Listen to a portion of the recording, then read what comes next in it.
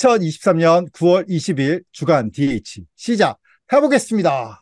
대학원 가고 싶니 이제 거의 끝을 달려가고 있는데요.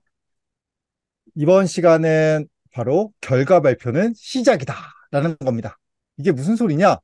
뭐 자기 성찰도 했고 탐색도 했고 contact도 했고 이제 서류 심사도 받고 면접도 받고 그럼 끝난 거 아닌가요?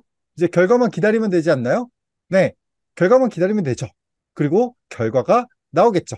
우리 합격자 공지라는 게 뜨겠죠. 그리고 뭐 떨어진 분은 안타까운 거고 합격하면은 축하의 박수를 보내드리는 거죠. 근데 합격자 공지가 뜨고 실제 입학하는 사이에 텀이 있죠, 분명히. 보통 못해도 두 달, 세 달 정도의 시간이 분명히 생겨납니다. 네, 그 두세 달 동안 뭐 해외를 가시는 분도 있고 알바를 하시는 분도 있고 여러 가지 케이스가 있는데 뭐 일단 노는 어, 분들이 꽤 있죠. 어, 일단 놀아. 어, 결과는 어떻게 나올지 몰라. 결과 나와도 입학하기 전에까지는 몰라. 라고 생각하시는 분도 있어요. 근데 어, 석사든 박사든 사실 현실은 그렇게 녹록하진 않습니다. 그 2, 3개월의 시간이 나중에 돌이켜 보면은 너무나 소중한 시간이 될 수도 있어요. 그러니까 그 시간에 어떻게 보면은 그룹 스터디 혹은 혼자 하는 스터디 같은 거를 참가하는 게 훨씬 더 어, 본인에게 유익할 수도 있습니다. 물론 이거는 개개인마다 다른 부분이긴 합니다. 어떤 친구들은 일단 노는 거, 어, 진짜 2, 3개월 동안 죽어라 놀고 나머지 이제 기간 동안 석사 혹은 박사를 하면서 어, 죽어라 공부를 하는 케이스도 있죠. 하지만 대부분의 경우에는 스스로 이제 부족함을 느끼고 혹은 불안해서 공부를 하는 경우가 꽤 있습니다. 근데 어 이제 뭐 여러 가지 그룹 스터디 경우도 있고 혼자 공부하는 경우도 있고 요즘 같은 경우는 K 무크라든지 아니면 뭐 유료 서비스 같은 거 있죠. 아까 뭐 여러 가지 동영상 플랫폼도 있고 그런 데에서 공부를 하는 것도 뭐 방법이긴 하겠지만 뭐 아니면은 직접 어차피 합격을 했으니까 합격한 학교 쪽에 커넥을 해보면 그 전공 혹은 그 랩실에 커넥을 해보면 미리 가가지고 뭐 공부를 할 수 있거나 세미나를 할 수 있는 기회도 분명히 열려 있습니다. 예. 물론 입학도 안 했는데 벌써부터 가가지고 노예 짓을 해야 되냐라고 생각하시는 분도 있겠지만 꼭 노예라고 생각하고 내 스스로의 발전이라고 생각하면 뭐 도움되는 측면도 분명히 존재를 할 겁니다. 어 근데 이제 디지털 인문학 이라는 거를 어, 좀 focusing 해가지고 한번 얘기해 보도록 하겠습니다. 왜냐면은 사실 전공 분과마다 준비해야 되는 게 조금씩 다르니까요. 사실. 그랬을 때 디지털 인문학은 뭘 준비해야 될까?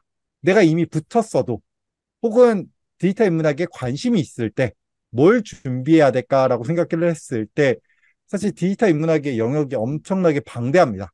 저는 기능적으로 보통 구분을 하는데 이거는 기술적인 부분이 많긴 한데 보통 인문학 전공하시는 분들이 기술적으로 약하니까 기술 중심으로 설명을 드리면 뭐 내가 관심 있는 게 설계 구축 영역이다 라고 하면 이쪽을 좀 배워야 되겠죠.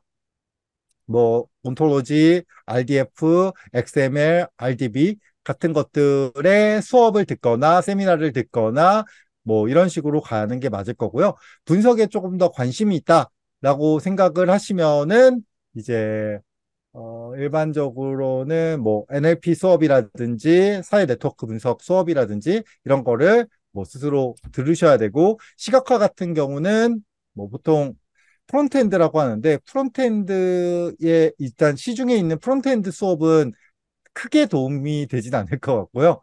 어, 그것보다는 선행 연구에 있는 기본적인 뭐 timeline이라든지 어, 혹은 뭐 기본적인 시각화 방법론 같은 거를 오히려 공부하는 게 data visualization 영역이라고 하죠. frontend가 아니고 그런 쪽을 조금 더 공부하는 게 좀 더 좋긴 합니다. 그랬을 때 가장 좋은 곳 중에 하나가 어디다? 여러분 말씀을 해주셔야죠. 예. 유튜브 지금 이 주간 DH가 네. 올라오는 유튜브에 다양한 이제 내용들을 저희가 올리고 있죠. 실제로 어, 이미 그 저희 공개 자원 중에 하나가 멀티미디어 시각화 관련된 거를 올리고 있고 그 다음에 10월부터는 이제 분석도 올릴 예정입니다. 그리고 저희 블로그를 와보면은, 어, 이미 와보신 분이고 익숙하신 분도 계시겠지만, 뭐, 시각적인 문화 이미 있죠. 논문 리뷰 같은 것도, 어, 한번 보시는 것도 나쁘지 않은데, 여기 DH 볼만한 현상이라고 해가지고, 어, 예전, 좀 DH 관련으로 유의미하다고 생각되는 것들을 여기다 쫙 모아놨습니다. 보시면은. 네. 이런 게 있고, 특히 여기 아래쪽을 가보면 한국 DH 교육 콘텐츠라고 해가지고, 어, 월간 디지털 인문학, 어디서 많이 본 거죠? 김명주 선생님이 올리셨던 거, 그리고 인문학자의 디지털 literacy, 김영수 선생님이 올리고 계시는 뭐, 분석이라든지 visualization이라든지 뭐 아니면은 NLP라든지 이런 내용들에 대해서 이제 관련 있는 거 있으면 제가 여기다가 올려놨거든요. 또 해외 컨텐츠 관련해서도 이제 뭐 Python for DH, 데이터 휴머니티 아니면 중국 쪽거 이런 식으로 제가 보는 대로는 올려놓고 있습니다. 이런 교육 컨텐츠를 보시고 뭐 미리 연습하는 게 조금 더 어, 나중에 본인이 석사라든 박사라든 좀 더 좋지 않나라고 생각이 되고요. 특히 김용수 선생님 같은 경우는 뭐 교육 콘텐츠 여기도 뭐 몇 개 올려놓긴 했는데요. 여기 데이터 인문학자의 literacy가 보면 지금도 열심히 올려놓고 있습니다. 최근에 올리고 계신 거는 Voyant tool을 활용한 방법이네요. 네. Voyant tool을 기본으로 해가지고 네트워크 분석도 하시는 이런 방법에 대해서 올리고 있으니까 이런 이미 올려져 있는 콘텐츠들에 대해서 여러분들이 음, 활용을 하면 뭐 좋은 면이 있습니다. 그뿐만 아니라 저 같은 경우는 이제 요거 링크 어차피 공유가 될 텐데 어 여기 강의 자료 같은 거를 공유 가능한 거는 다 공유해 놓고 있습니다. 그래서 뭐 개론이나 뭐 설계, 구축, 분석, 시각화 뭐 관련 내용들을 최대한 저는 오픈을 해 놓고 있거든요. 그래서 이런 오픈된 거를 참고하셔도 되고요. 또 그 다음에 보통 코드 쪽을 어려워하시는 분들이 있어가지고 저 같은 경우는 제가 수업에서 쓰는 거 혹은 논문에서 썼던 것들을 최대한 이제 정리 가능한 거는 정리를 해가지고 이런 식으로 쭉 올려놨습니다. 그래서 이 코드만 뭐 처음부터 정확하게 알기는 어려우실지는 몰라도 어, 이 코드를 중심으로 좀 분석 쪽 같은 경우는 접근을 하면은 좀 편한 면이 있으실 것 같습니다. 이거 외에도 다양한 이제 교육 컨텐츠를 아직은 아니지만 우리 KADH 블로그에다가 따로 이제 교육 컨텐츠 섹션을 좀 만들어 가지고 올릴 예정입니다. 많은 사랑 부탁드리고요. 사랑해요. 왜, 이래, 왜 이래? 리액션 좀. 여러분들은 결과 발표 나오고 뭐 하셨어요? 어, 저부터 하면 석사 때 이제 처음 카이스트는 3월 입학자들은 굉장히 빨리 뽑, 뽑아요. 그래서 다음에 3월에 입학할 사람을 9월 달에 지금 아마 다음 주에 발표할 텐데 이, 이 이때가 지금 시, 발표 기간이라서 여름에 미리 뽑고 저는 뭐 했냐면 그 지금 카이스트에서 박사하고 있는 최동혁 박사랑 같이 코딩 스터디 했습니다. 물걸 코딩 스터디 했다고 합니다. 최동혁과 네, 최동혁 보고 있나? 네, 하여튼 최동혁 학생이랑 최동혁 박사랑 같이 지금 대학 코딩 스터디 했고 최동혁 박사는 제가 입학하고 다다음 학기인가 조, 예, 들어왔습니다. 하여튼 그쵸. 예, 네, 초등학 네, 박사 그때 어, 네, 대학교에 다니고 있을 때 아닌가요? 네, 저도 대학교 마지막 학기였고 전 그래서 그러고 있었고요. 어, 그거 좋은 것 같아요. 미리 연구실 가는 거 좋고요. 그 이공계 같은 경우는 그런 문화가 굉장히 많아요. 그래서 뭐 학부 연구생은 아예 그냥 졸업 직 전부터 그 연구실 문화 체험한 체험하는 게 있으니까 그것도 좋고 학부 연구생이 아니더라도 합격하고 몇몇 대학에서는 그런 기숙사를 예비 합격자들한테도 주는 경우가 있어서 카이스트는 줍니다. 그래서 카이스트는 아마 이공계 대학 대학원들은 아마 그런 게 좀 있을 거예요. 그래서 와서 미리 좀 훈련도 하고 그거는 좋은 것 같습니다. 그리고 뭐 부담 없이 그나마 네. 뭐 음. 월급을 주는 경우도 있어요. 왜냐하면 연구 프로젝트에 학부생도 참여가 가능하니까 네. 그런 그런 거 가능할 것 같습니다. 박사 올라갈 때는 어떠셨나요? 어, 박사 때는 뭐 그때는 또 직장 다니면서도 박사 했던 그런 게 있어서 그거는 그때는 뭐 딱히 그런 적은 없었는데 간혹 이제 인기 있는 연구실 같은 경우는 이게 그 몇 개 대학 이공계 몇 개 대학 인기 있는 연구실은 포당 말고 포마라고 포스트 마스터라고. 고마. 그러니까 그러니까 박 박사 자리가 없어서 한 학기 정도 유예를 하는 거예요. 그러니까 연구 연구실에 배당된 박사 인원 자리가 없어서 그러면 뭐 하냐면 졸업 석사 졸업해놓고 한 학기 정도 다음 박사 다음 학 다다음 학기 입학을 기다리면서 그 연구실에서 약간 석사 연, 연구원으로 일하는 사람들도 좀 보긴 했습니다. 이공계 대학인 건 특성인 것 같아요. 그 자리가 모자라서 그래서 그냥 그 바, 바로 붙여서 입학을 못하고 그 다음 학기에 그 정도는 좀 본 것 같아요. 유인태 선생님은 또 뭐 없나요? 어, 취업 준비해야죠.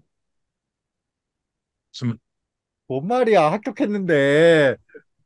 하지 말란 소리야 또? 개강 전까지 최대한 고민을 하는 겁니다. 대학원에 갈 것인가 말 것인가. 아 회사도 붙여놓고 두 개 다. 그렇습니다. 어, 투트랙으로 가자. 그렇습니다. 아, 유인태 그럼- 선생님께서 그러셨나요? 그러려고 했죠. 어, 근데 유인태 선생님 궁금하다. 뭐 삼성이나 이런 데 공채 시험 본 적 있어요? 제 궁금하네. 없습니다. 없어요? 아 그렇군요. 창업을 하시지 않으셨나요? 비슷한 걸 하긴 했는데 어쨌든 그렇습니다. 음, 어쨌든 취업 준비 열심히 하세요. 끝날 때까지 끝난 게 아니다. 무슨 말이- 대학원 어, 개강하고 첫 강의 강의실에 발걸음을 들여놓기 전까지 여러분들한테 대학원은 열려 있는 공간이 아닙니다. 여러분들 어떻게든 대학원 바깥에서의 길을 도모하십시오. 회사 인턴 같은 건 해보는 건 괜찮은 것 같아요. 인턴 오기 전에 회사 인턴 같은 거 해보는 것도 그 김병윤 선생님도 회사 다니셨잖아요, 그죠? 예, 나 다녔죠. 예. 네. 역시 그, 아, 그 이야기가 나와서 잠깐 조금만 더 이야기하자면, 뭐, 뭐, 그 확실히 대학, 그 학부 졸업하고 대학원에 바로 오는 케이스와 중간에 어떤 사회 경험이라고 해야 될까요? 그거를 하고 왔을 때는 확실히 좀 차이는 있는 것 같아요. 대학원을 음. 바라보는 인식이라든지 시각도 그렇고. 그러니까 뭐, 어떤 게 더 옳다 이런 이야기를 하고 싶은 게 아니고, 차이는 분명히 있다. 어떤 차이인가요? 어, 예를 들어서 가장 큰 거는 뭔가 내가 여기 왔, 와서 뭘 해야 할 건가? 뭘 성취해야 할 것인가에 대한 어떤 마인드? 뭐 이런 것도 차이가 있는 것 같고요. 왜 그러냐면, 어, 학부 졸업하고 물론 대학원에 바로 올라오는 경우가 제일 많긴 한데, 그런 경우는 뭔가 좀 방황한다거나 아니면은, 어, 내가 성취해야 될 무언가와 관련해서 구체적이지 않고 뭔가 어렴풋한 두루뭉술한 뭐 그런 경우가 분명히 있는 것 같아요. 근데 사회생활을 하고 들어오신 분들은 좀 다른 것 같아요. 왜냐면 실제 뭔가를 어떤 프로세스 그리고 어떤 결과 이런 거를 자기가 뭐 회사에 있든 아니면 다른 방식으로는 뭔가 만들어 본 경험이 있기 때문에 대학원에 와서도 그런 걸 투영을 해서 구체적으로 아 이걸 해야겠구나 저걸 해야겠구나 그래서 딱딱딱 준비해 나가는 그런 경우를 많이 봤습니다. 물론 이 모든 거는 케바케이긴 합니다. 네, 케바케이긴 한데 평균적으로는 좀 그런 경향이 있다 정도로 들으시면 될 것 같고요. 네. 이제 기본적으로 대학원 가고 심리에 대한 일반적인 얘기는 거의 뭐 끝난 것 같긴 합니다. 네, 다만 이제 다음에는 저희가 저번 시간에 다음 시간에 다룰 거라고 했던 게 하나 있었죠. 바로 대학원 가고 심리 마지막 디지털 인문학 탐색 특집.